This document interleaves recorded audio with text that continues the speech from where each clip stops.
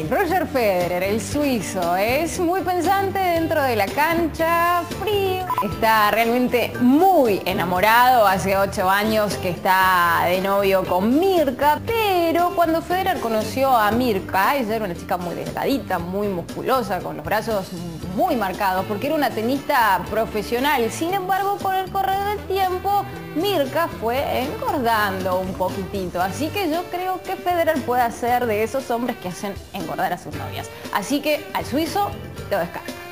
Es un chico bonito, realmente muy musculoso, para mí este, en los brazos y de la cintura por arriba el más dotado, pero lo veo realmente muy egocéntrico, como que vive demasiado para el tenis, tanto para el tenis que no sé, así que a Nadal afuera también. Pero me van a echar.